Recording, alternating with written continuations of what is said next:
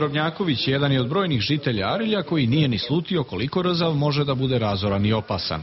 Strašno je bilo za pola sata je voda došla za jedan metar i po visine gore. To je bilo strašno gledati kako to ide, kako potapa kuću, gledaš kako potapa ide uz blok.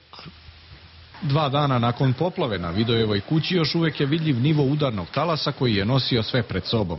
I njegov komšija još uvek je potrešen događajima od kritične noći. Nosilo je, prošla je jugo vodom, od, sve je nosilo, sve živo je nosilo i čupalo drveće, odnelo građu, traktor je jedan odnelo, kultivator, čoveku je poplavilo kuću.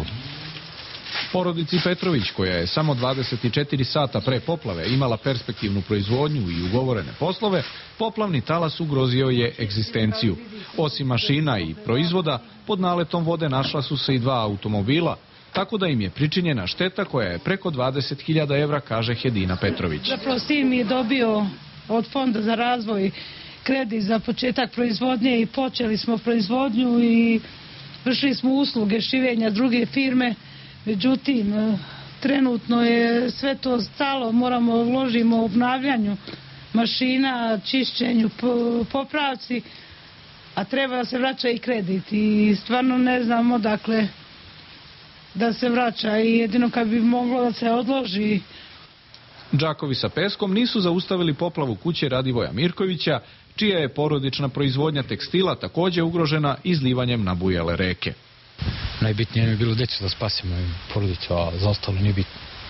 I da ja ne, ne, ne pišem ili ne nabrajam šta je sve oštećeno, vidi se od celo prizemlje, znači sve što je moglo tu nameštaja, tehnike, sve, sve što je oštećeno, sve što je imalo u kući što je se našlo u prizemlju.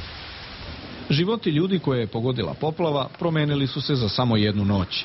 Oni sada strepe kako će se osušiti vlaga jer zima tek dolazi i dok se na većem delu poplavljenog područja voda povukla, u pojedinim mestima tragovi izlivanja reka i dalje su jasno vidljivi. Pitanje je da li u hladnim danima tolika količina vode može za kratko vreme i ispariti.